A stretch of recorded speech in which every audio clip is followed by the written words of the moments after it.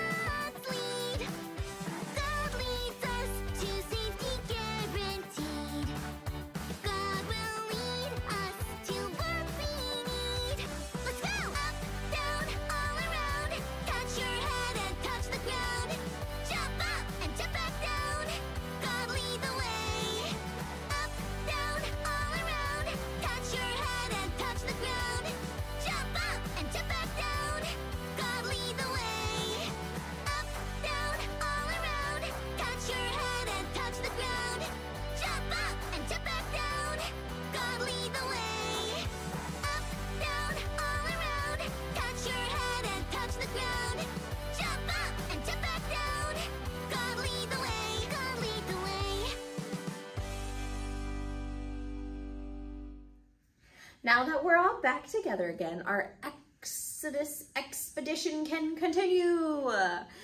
Now, last time we talked about, like I said, the burning bush, and then, well, first we started with Moses in the basket, and then the burning bush. And then Moses had to return to Egypt, and he had a very important message for the Pharaoh, which was the king of Egypt, and it was to let God's people go. Now, the king didn't like the um, Israelites the Hebrew people, and uh, he kind of was extremely horrible, nasty, terrible to them. Do you think he's just going to let them leave?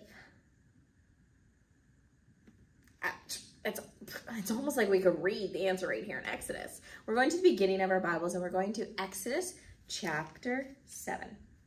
So here goes Moses, and he has a brother along with him named Aaron, and he's going to go to Pharaoh, and God has some messages, some things to tell Moses before he goes. So, tell Aaron everything I command you, and Aaron must command Pharaoh to let the people of Israel leave his country. But I will make Pharaoh's heart stubborn so I can multiply my miraculous signs and wonders in the land of Egypt. Even then, Pharaoh will refuse to listen to you, so I will bring down my fist on Egypt. Then I will rescue my forces, my people, the Israelites, from the land of Egypt with great acts of judgment. And when I raise my powerful hand and bring out the Israelites, the Egyptians will know that I am the Lord. Okay, so Moses and Aaron now have to go to Pharaoh and say, let my people go. Ready? So Moses and Aaron went to the Pharaoh and they did what the Lord commanded them. And Aaron threw down his staff, which was like a big stick, before Pharaoh and his officials, and it turned into a serpent, which is like a snake. I love this part. Well, not the snake part, but the fact that God's in control. Then Pharaoh called in his own wise men and his sorcerers, and these Egyptian magicians did the same thing with their magic. They threw down their staffs and they became serpents. But when Aaron's staff swallowed up their staffs, Pharaoh, the, oh, I'm sorry. But then Aaron's staff swallowed up their staffs. Pharaoh's heart, however, remained hardened. He still refused to listen, but just as the Lord had predicted. Now we know that God knew this was going to happen because he needed to multiply his miracles. He needed to show, he didn't need to show, he, he was already God. He was here to show the Egyptians, can't mess with God's people. So, a plague of blood. Spooky. Then the Lord said to Moses, Pharaoh's heart is stubborn and he still refuses to let my people go.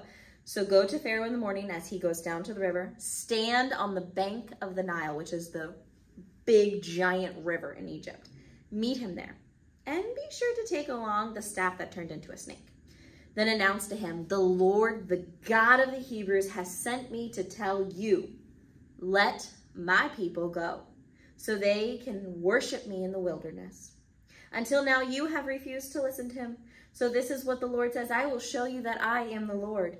Look, I will strike the water of the Nile with this staff in my hand, and the river will turn to blood. The fish in it will die, the river will stink, and the Egyptians will not be able to drink any water from the Nile. So the Lord tells Moses that Aaron needs to, guess what?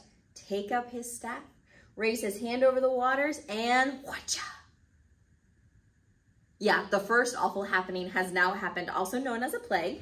And this is when the waters turn to blood. Now, I know we read about the Nile turning, but every ounce of water in Egypt, in the bowls and the jars and the puddles and everything turned to blood. Can you imagine if the only thing you had to drink was blood? Blech. So, pretty horrible, terrible thing happening. Let's see how Pharaoh responds. Pharaoh's heart remained hardened. He refused to listen to Moses and Aaron just as the Lord had predicted. And Pharaoh returned to the palace and he put the whole thing out of his mind. Then all the Egyptians dug along the riverbank to find new drinking water, for they couldn't drink from the Nile. And seven days passed. Chapter 8 A Plague of Frogs. Yeah, the next awful happening is happening. The Lord said to Moses, Go back to Pharaoh and announce to him, This is what the Lord says Let my people go so they can worship me in the wilderness. If you refuse to let them go, I will send a plague of frogs across your entire land. Guess what? Frogs. Just everywhere. Think about just just I can't even describe it. Everywhere in food barrels, contaminating them, in the water jugs, in your bed, in your home, outside, inside, everywhere.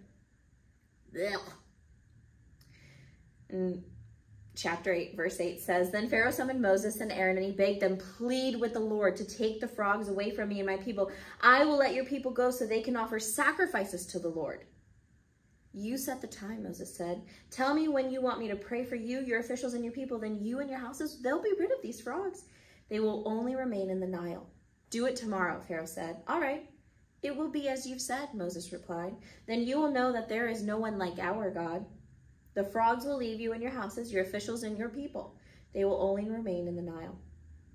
Moses cried out to the Lord about the, about the frogs he had inflicted on Pharaoh, and the Lord did just as Moses replied. He took away the frogs from the houses, the courtyards, and the fields. And they piled into they piled the frogs, the Egyptians, into these big heaps. But when Pharaoh saw that, you know, he had a little he had a little break from terrible frogs, he became stubborn and he refused to listen to Moses and Aaron, just as the Lord had predicted. So, blood, frogs. Do you think it's the end? No, of course not. God said that his heart would be hardened. He would need to show a multitude of miracles. So after that, all the dust in the air is going to turn into gnats. Here we go. So the Lord said to Moses, Tell Aaron, raise up your staff and strike the ground. The dust will turn into swarms of gnats throughout the land of Egypt. So Moses and Aaron did just that, and they were everywhere. And think about dust, it's so tiny, and we breathe it in all day long when it's shaken from things, and I cannot even imagine how disgusting it was. Just filled with everywhere. The gnats covered everyone, people and animals alike. And this is the finger of God, the magicians exclaimed to Pharaoh. But Pharaoh's heart remained hardened. Plague three, and Pharaoh's like, nah, I think we'll be okay. I think we'll survive it. He was not. He was not thinking clearly. Blood, frogs, gnats. Nope. So, here comes next. If you thought the gnats were bad, here's the another gross one flies. And the Lord told Moses, get up early in the morning and stand in Pharaoh's way as he goes down to the river and say to him, this is what the Lord says. Let my people go so they can worship me. And if you refuse, I will send swarms of flies on you, your officials, your people, and all of your houses. The Egyptians' home will be filled with flies and the ground will be covered with them. But this time I will spare the region of Goshen, where my people live. No flies will be found there. Then you will know that I am the Lord, and I am present even in the heart of your own land. I will make a clear distinction between my people and your people. This miraculous sign will happen tomorrow. And the Lord did just as he said. And there were flies everywhere except on God's people, the Israelites. so um, Pharaoh then called in for Moses and Aaron. And he said, fine, fine, you can offer sacrifices to your God, but do it right here in this land. Did he really think he needed to try and bargain? No, he needs to obey God. And let's see what Moses says. Moses replied, that wouldn't be right. The Egyptians detest the sacrifices that we offer to the Lord our God. Look, if we offer the sacrifices here and the Egyptians see us, they will stone us, which is essentially killing them. We must take a three-day trip into the wilderness to offer sacrifices to the Lord our God, just as he commands us. Fine, Pharaoh said, go ahead. I'll let you go to the wilderness to offer your sacrifices to the Lord, but don't go too far away. Now hurry up and go pray for me. Pharaoh just wanted mercy on himself. Moses answered, As soon as I leave you, I will pray to the Lord, and tomorrow the swarms of flies will disappear from you and your officials and all of your people. But I'm warning you, Pharaoh, don't lie to us again and refuse to let the people go sacrifice to the Lord. So Moses then left Pharaoh's palace, and he pleaded with the Lord to remove the flies. And the Lord did as Moses asked, and he caused the swarms of flies to disappear from Pharaoh and his officials, and not a single fly remained. But Pharaoh again became stubborn and refused to let the people go. What? I'm getting frustrated. I can't imagine how Moses and Aaron are feeling. So we had blood in the water, frogs covering the land, gnats from the dust. Now we have flies covered everything. Are we done yet? No. A plague against the livestock. Go back to Pharaoh, the Lord commanded Moses. Tell him, this is what the Lord, the God of Hebrews says, let my people go so they can worship me. And he didn't. So something super bad is now going to happen to the animals. But the Lord is a little, um, he's uh, adding a little bit distinction here. Remember, he said there's a separate between my people and your people, Pharaoh. And he said, the Lord will again make the distinction between the livestock of the Israelites and the Egyptians. Not a single one of Israel's animals will die. And Israel did not lose a single animal. But even so, Pharaoh's heart remained hardened and he still did not let God's people go. Blood in the water, frogs across the land, swarms of gnats, swarms of flies. Now we have animals. Do you think it's over? Is it, do you, do you think we're close? No. Okay, the next one. Okay, the next one is super gross. Okay, so they're called boils and they were festering blisters on people's skin. Okay, just painful sores all over the body. Guess what? Pharaoh's heart remained hardened and Pharaoh refused to listen. Blood in the water, plague of frogs, swarms of gnats, swarms of flies, livestock is dying, boils on the people. Guess what? We're still not done. Then the Lord said to Moses, Get up early in the morning and stand before Pharaoh and tell him, This is what the Lord, the God of Hebrews, says Let my people go, so they may worship me. If you don't, I will send more plagues to you and your officials and your people. Then you will know that there is no one like me in all the earth. But now I could have lifted my hand and struck you and your people with a plague to wipe you off the face of this earth.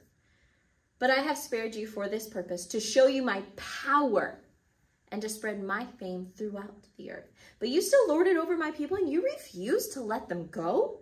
So tomorrow at this time, I will send a hailstorm more devastating than any in all the history of Egypt. Quick, order your livestock and your servants to come in from the fields to find shelter. Any person left outside or any animal left outside will die when the hail falls.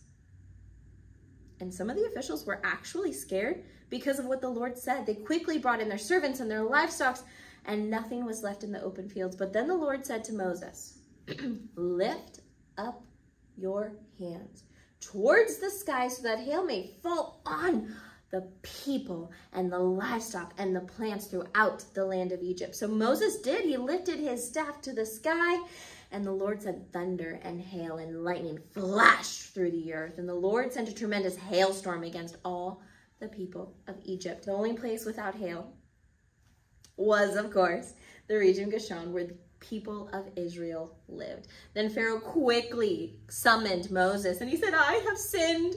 He confessed, the Lord is the righteous one and my people and I are wrong. Please beg the Lord to end this terrifying thunder and hail. We've had enough. I will let you go. You don't need to stay any longer.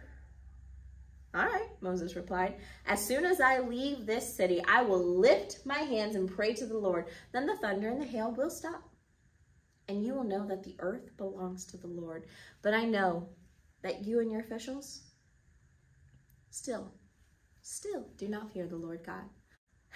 So Moses left Pharaoh's court, and they went out of the city, and when he lifted his hands to the Lord, the thunder and hail stopped, and the downpour ceased. But when Pharaoh saw that the thunder and the rain and the hail stopped, he and officials sinned again, and Pharaoh again became stubborn because his heart was hard Pharaoh refused to let the people leave, just as the Lord predicted through Moses. Blood in the Nile, frogs everywhere, swarms of gnats, swarms of flies, livestock is dying, boils across the people, hailstorms that have ruined animals, servants, homes, and crops, and we're not even done. A plague of locusts, and here come more bugs. Look, there were so many of them, you couldn't even see the ground. They just covered it and they went around and they ate everything. Even the things that they had stored up and were safely away inside buildings, eaten. Eaten. So Moses and Aaron were brought back to the Pharaoh. All right, he told them, go and worship the Lord your God. But who exactly is going with you? Pharaoh again is trying to, to play them, to manage all this. Moses replied, we will all go the young, the old, all sons, all daughters, and our flocks and our herds, we must all join together in celebrating the festival of the Lord. How do you think, you know, Pharaoh's going to feel about this? Pharaoh retorted, the Lord will certainly need to be with you if I let you take your little ones. I can see through your evil plan. Never. Only the men may go and worship the Lord, since that is what you requested and Pharaoh threw them out of the palace. Then the Lord said to Moses, raise your hand over the land of Egypt to bring on the locusts. Let them cover the land and devour every plant that survived the hailstorm. So Moses did. And guess what? Those locusts, ugh, they came in and swarmed and covered the entire land. Pharaoh quickly summoned Moses and Aaron, and I have sinned against the Lord your God and against you. Forgive me of my sin. Just this once, plead with the Lord on my behalf. Except it wasn't just this once, was it? Every single time. I know God was in control. I'm getting a little frustrated with Pharaoh here. Moses must have really had God's leadership on his side to continually deal with Pharaoh. The Lord responded by shifting the wind and this westward wind blew all the locusts into the Red Sea. But the Lord hardened Pharaoh's heart again, so he refused to let the people go. Lift your hand toward heaven, the Lord said, and the land of Egypt will be covered in a darkness so thick you can feel it. I just, that's, it feels creepy to me. Can you imagine? Finally, Pharaoh called to Moses, go and worship the Lord, but leave your flocks and your herds here. You may even take your children with you. No, Moses said. You must provide us with animal sacrifices and your burnt offerings to the Lord our God. All of our livestock must go with us too. Not a hoof can be left behind. We must choose our sacrifices for the Lord our God from these animals. And we won't know we are to worship the Lord until we, we don't know how we're supposed to worship the Lord until we get there. But the Lord hardened Pharaoh's heart again, once more, and he would not let them go. Get out of here, Pharaoh shouted at Moses. I'm warning you, never come back to see me again. The day you see my face, you will die. Very well, Moses replied. I will never see your face again. Nine deadly and honestly disgusting. You remember all those bugs, plagues, and still Pharaoh would not let God's people go. It was part of that plan. So then it was time for the 10th and final plague. Then the Lord said to Moses, I will strike Pharaoh and the land of Egypt with one more blow. After this, the Pharaoh will let you leave this country. In fact, he will be so eager to get rid of you, he will force you all to leave. Tell all of the Israelite men and women to ask their Egyptian neighbors for articles of pieces of silver and gold. Now, you know, because the Lord had all had done all these things, the Egyptians were kind of looking favorably upon the Israelites. You know, their God was pretty awesome and, you know, the only real God. So Moses was considered a very great man in the land of Egypt and he was respected. He was respected by Pharaoh's officials and the Egyptian people alike. So Moses had announced to Pharaoh, this is what the Lord says at midnight tonight. I will pass through the heart of Egypt and all the firstborn sons in every family in Egypt, from the oldest son of the Pharaoh who sits on the throne to the oldest son of the lowest servant girl who grinds the flour.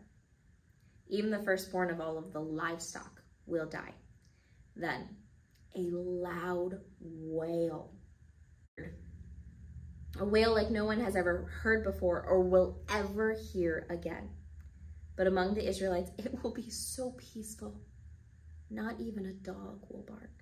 Then you will know that the Lord has made a distinction between the Egyptians and the Israelites, and all of the officials of Egypt will run to me and fall to the ground before me. Please leave, they will beg. Hurry and take all of your followers with you. Only then will I go. Then burning with anger, Moses left Pharaoh. Now the Lord had told Moses earlier, Pharaoh will not listen to you, but then I will do even more mighty miracles in the land of Egypt. And Moses and Aaron performed these miracles in the Pharaoh's presence, but the Lord hardened Pharaoh's heart and he would not let the Israelites leave the country. Do you think it's the end? No, we now have to know what we are going to call Passover, where God is going to protect the Israelites from this 10th and final plague. And we read in verse 7 they are, the Israelites, to take some of the blood from this young sacrifice and smear it on the tops and the edges of their door frames where they are going to eat that animal. and then on the night, God says, I will pass through the heart of Egypt and strike down every firstborn son, firstborn male, and any animal in the land of Egypt, and I will execute judgment against all the gods of Egypt, for I am the Lord. But the blood on your doorposts will serve as a sign, marking the houses where you are staying. And when I see that blood, I will pass over you. This plague of death will not touch you when I strike the land of Egypt. Pharaoh brought disaster to his people and to himself, and God showed his power and his might. And the Israelites who obeyed God's command and they spread that blood over their doorposts and followed the instructions, they were spared from that final plague. And that's why, even to this day, Passover is celebrated to remember the time of that death passed over the homes of God's people. Now, guess what? we read about 10 different plagues in Exodus, and they just happened and happened and happened and happened. And Moses and Aaron were given instructions each and every time, and they went to Pharaoh and they told him exactly what God said. And we're going to learn that we can follow God's lead because Aaron and Moses did an amazing job. They spoke the words that God had given them, they stood up in front of Pharaoh and said, Let God's people go. And even though they knew that Pharaoh's heart was going to be hardened, that wasn't going to work until that very last moment where God allowed it to happen, they still followed God's lead. Will you join me in a word of prayer as we close? Heavenly Father, thank you for showing us that no matter what is happening in our lives, we can trust and follow you. If we need to stand up in hard times, if we need to boldly proclaim that you are God, Thank you for never leaving us or forsaking us. Thank you for the reminders from Moses and Aaron, Lord, that we can follow your lead. Help us to be strong and courageous, to be bold in our faith, and to be still and know that you are God. Help us to stand in the gap, Heavenly Father, that we can bring your light to this world, that we can shine brightly like a city on a hilltop, Lord.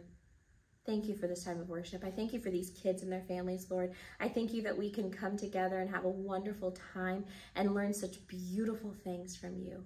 Thank you for the reminder of your promises, that you keep them. I pray for our church family.